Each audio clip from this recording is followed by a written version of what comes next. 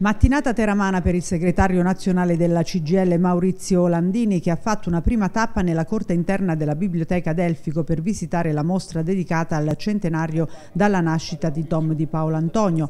Poi una visita nella vicina sede dell'Azzu dove ha visto il murale dedicato a Tom. E infine le dichiarazioni ai giornalisti. Il segretario della CGL ha parlato di salari minimi, di precariato e di sicurezza nei posti di lavoro.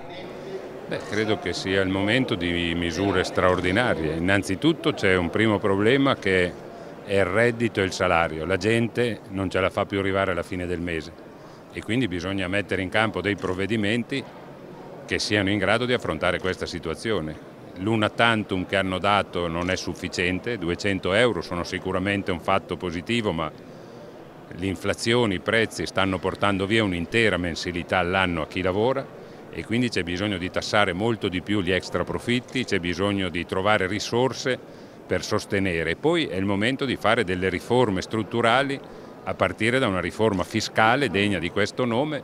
Questo oggi era l'obiettivo principale, cioè quello in pratica di fare una riflessione sul momento veramente difficile che viviamo, straordinario ma con grandi e troppi interrogativi che pesano sul destino del Paese, dell'umanità più in generale ma anche dei territori. Avete parlato di solidarietà anche insomma, la solidarietà insomma, è, una, è diciamo, l'alimento e il carburante di un'associazione sindacale. Sindaco, qual è il ruolo del sindacato oggi?